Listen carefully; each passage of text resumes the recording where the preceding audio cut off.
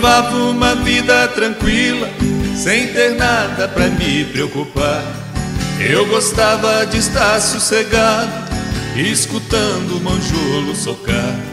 O barulho das aves em bando, revoando lá no meu pomar. E a noitinha com sons variados, vários sapos fazendo guachar. Esses dias a minha patroa parcelou até perder de vista a TV pra assistir a novela, onde disse que havia uns artistas.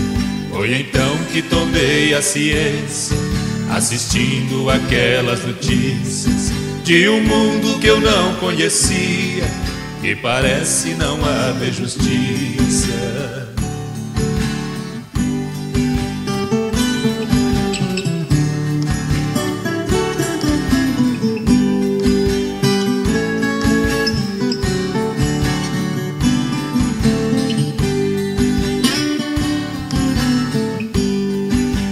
Ouvi defendendo ladrões por aqueles que são estudados por dinheiro também disputando um punhado de advogados.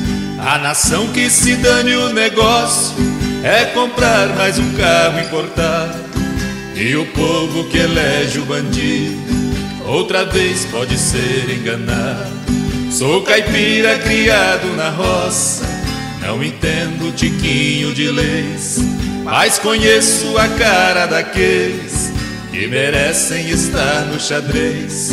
Eu não caio em conversa fiada, isso posso dizer para vocês. Não sou feito a galinha que engana facilmente com ovo de indês.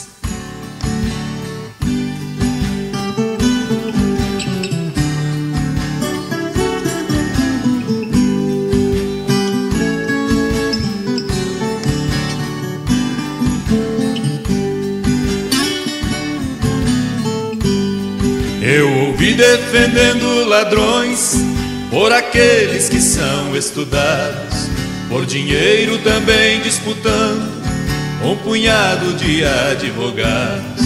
A nação que se dane o negócio é comprar mais um carro importado, e o povo que elege o bandido outra vez pode ser enganado. Sou caipira criado na roça não entendo tiquinho de leis, mas conheço a cara daqueles que merecem estar no xadrez. Eu não caio em conversa fiada, isso posso dizer para vocês.